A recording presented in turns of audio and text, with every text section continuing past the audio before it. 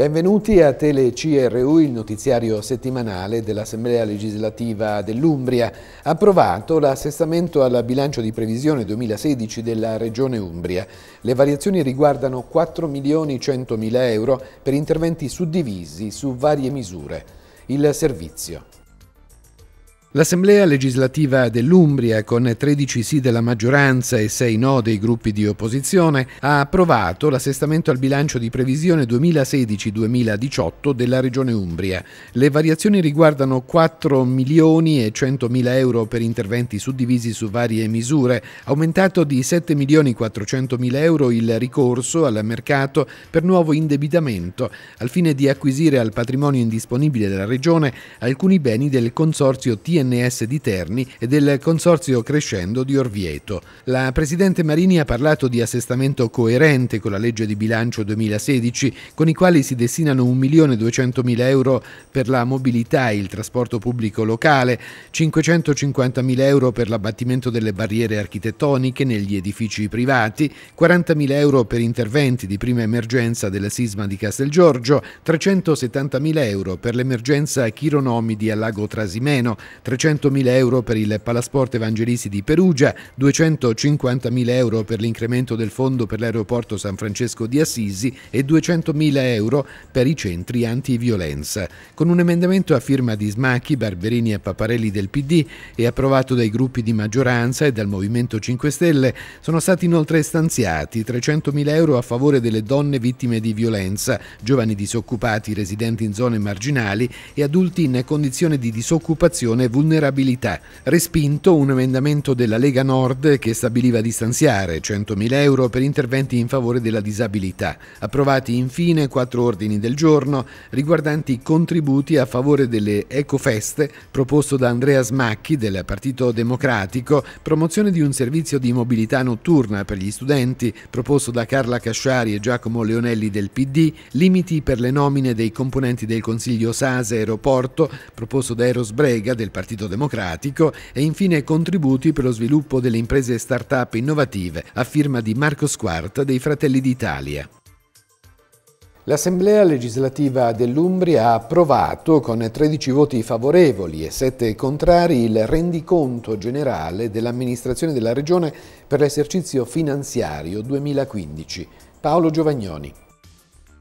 Da quando è iniziata la crisi abbiamo fatto solo misure di contenimento a fronte di ingenti tagli alle risorse dovuti ai provvedimenti sulla spesa pubblica. È dunque evidente la capacità dell'amministrazione di gestire le finanze dell'ente. Lo ha detto in aula la Presidente della Regione Umbria Catiuscia Marini tirando le somme del rendiconto 2015. Sono state svolte azioni di razionalizzazione e contenimento delle spese, un pacchetto di riforme del sistema delle agenzie e delle partecipate con benefici anche dal punto di vista contabile. Sulle spese è stato scelto di ridurre componenti e compensi di tutti gli enti e agenzie regionali, applicata la riduzione di gettoni e compensi nelle partecipate, meno 80%. Dimezzate le partecipate da 7 a 3, di cui una sola SPA, Sviluppo Umbria, e due SCAR, nessuna società in perdita. Rivendico con orgoglio, ha detto la Presidente, che supportiamo anche associazioni culturali, non solo grandi eventi e manifestazioni. L'Assemblea ha anche approvato con 18 sì della maggioranza e le due astensioni del Movimento 5 Stelle, un ordine del giorno proposto dal consigliere Andrea Smacchi, che impegna la Giunta regionale a promuovere, nell'ambito della conferenza Stato-Regioni, la richiesta di un tavolo di confronto finalizzato a partecipare e modificare le attuali regole contabili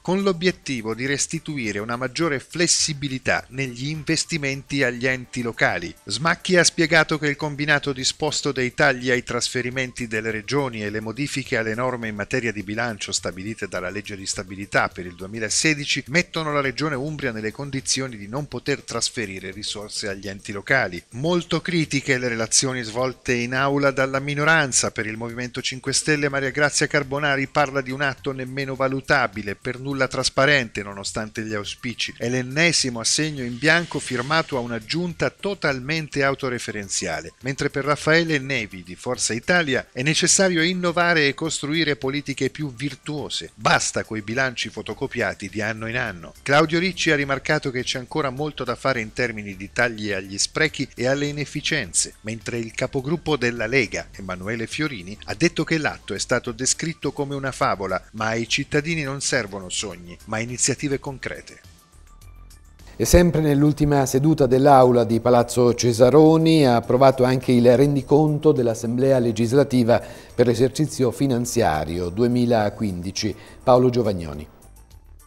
È stato il vicepresidente dell'Assemblea legislativa Valerio Mancini a illustrare in aula il rendiconto 2015. Il risultato definitivo delle entrate, ha spiegato, risulta essere complessivamente di 25,6 milioni di euro, di cui 21 milioni 97 mila quali entrate di parte corrente, 3 milioni e 337 mila quale avanzo di amministrazione del 2014 applicato al 2015. Infine 726 mila euro fondo pluriennale vincolato vincolato determinato per effetto del riaccertamento straordinario dei residui. Le spese che riguardano il bilancio dell'Assemblea legislativa sono inerenti ai servizi istituzionali che rientrano nelle competenze specifiche dell'ente e considerate obbligatorie per legge. Le voci che incidono maggiormente sul bilancio dell'Assemblea legislativa riguardano spese per gli amministratori regionali, le cui componenti principali sono riferite alle indennità, ripiano per l'erogazione degli assegni vitalizi, spese per i contributi ai ai gruppi consigliari, spese per il funzionamento e per il personale. Il risultato di amministrazione dell'esercizio finanziario 2015 si chiude con un saldo positivo di 4 milioni 76 mila euro. La spesa per il personale è calata di oltre un milione di euro negli ultimi tre anni. L'ufficio di presidenza di Palazzo Cesaroni ha deliberato di restituire al bilancio della regione una quota dell'avanzo libero che ammonta a 300 mila euro. Il capogruppo del Partito Democratico Gianfranco Chiacchieroni ha sottolineato come l'Umbria abbia contenuto le proprie spese in maniera significativa. Abbiamo vinto una scommessa, ha detto, potendo contare su un'assemblea legislativa con un terzo dei consiglieri in meno, ma che lavora quanto la precedente, se non di più, con un sensibile contenimento dei costi. Un messaggio di fiducia nel futuro, ha concluso, per le nostre istituzioni.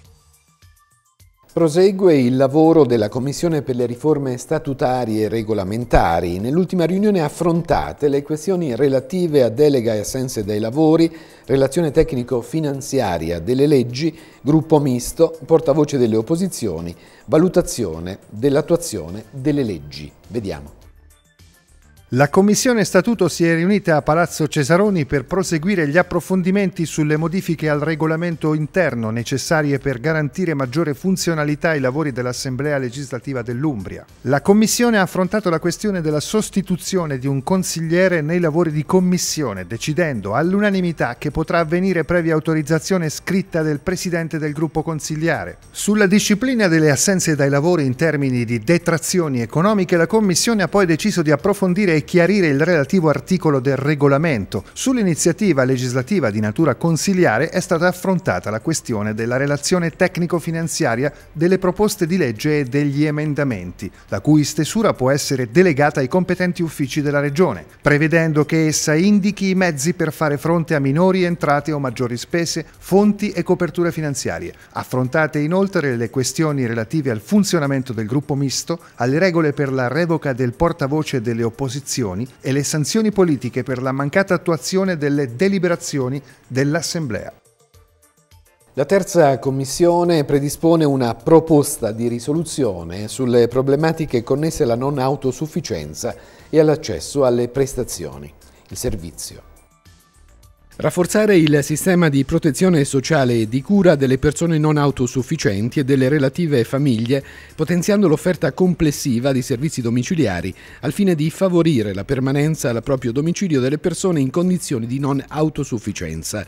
È questo, in sintesi, il dispositivo di una proposta di risoluzione approvata dalla terza commissione, presieduta da Attilio Solinas, con i voti favorevoli dei commissari della maggioranza e l'astensione di quelli di opposizione.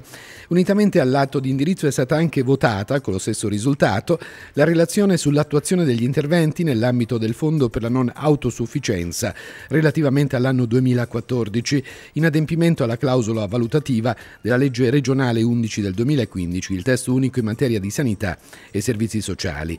Per entrambi gli atti, il relatore in aula sarà lo stesso presidente Solinas. Nel documento predisposto dalla Commissione viene rimarcata l'importanza di una maggiore chiarezza da parte dell'assessorato competente rispetto ai quesiti della clausola valutativa, con particolare riguardo al numero delle persone non autosufficienti residenti in Umbria. Nella relazione viene evidenziata tra l'altro una disomogeneità tra le due aziende USL, ma la mancanza di dati, viene rilevato nel documento della Commissione, non consente di analizzare puntualmente la tipologia di utenza, i bisogni assistenziali e la domanda di prestazioni e di servizi di cura e di assistenza, nonché la tipologia di offerta delle diverse zone sociali. Nuovo piano sanitario regionale. Sul documento predisposto dalla Giunta, audizione in terza commissione. Paolo Giovagnoni.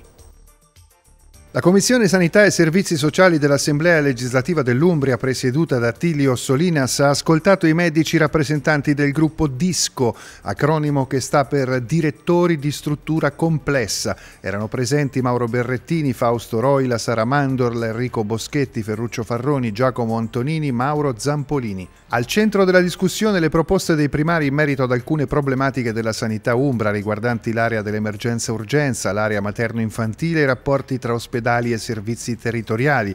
Rappresentata anche la richiesta di partecipare alle decisioni strategiche in tema di allocazione delle risorse. L'organismo costituito dai primari si pone come interfaccia tra il livello decisionale strategico, quello di politici e direttori aziendali, e l'utenza, allo scopo di fornire risposte anche organizzative per ridurre al massimo i disagi, con la consapevolezza che non si possa prescindere dal coinvolgimento degli operatori sanitari e dalla condivisione delle scelte organizzative assunte più alto livello. Per quanto riguarda l'emergenza-urgenza chiedono che il 118 sia rivisto, soprattutto per quanto riguarda il personale in termini di adeguatezza numerica e di formazione. Le priorità dell'area materno-infantile per i medici del gruppo Disco sono l'attivazione del servizio di trasporto d'emergenza neonatale e del servizio di trasporto assistito materno, organici adeguati a sostenere una guardia medica attiva H24 e posti letto di rianimazione pediatrica. Inoltre propongono l'istituzione di un pronto soccorso pediatrico regionale dipendente dalla clinica pediatrica dell'ospedale Santa Maria della Misericordia di Perugia per poter ridurre il numero di accessi impropri al pronto soccorso soccorso di pazienti in età pediatrica. Altra proposta dei primari riguarda un programma per facilitare la dimissione ospedaliera e la contemporanea presa in carico dei pazienti da parte dei servizi territoriali nella continuità di cura, attraverso la definizione di protocolli di continuità assistenziale ospedale-territorio con percorsi di dimissione protetta, percorsi riabilitativi. Per tutti gli aspetti trattati i medici chiedono a gran voce un'informatizzazione condivisa, integrata dei dati ospedalieri, un sistema informativo unico regionale nel quale siano inseriti inseriti tutti i dati di tutte le attività quotidiane di tutti i servizi per ottenere un vero controllo gestionale. Ed è tutto per questa edizione, vi ricordo che TeleCRU va in onda sulle emittenti televisive dell'Umbria e anche disponibile in rete sul sito dell'Assemblea legislativa regionale consiglio.regione.umbria.it e su YouTube. TeleCRU si fermerà per il mese di agosto, quindi l'appuntamento è al prossimo mese di settembre. Grazie per averci seguito e arrivederci.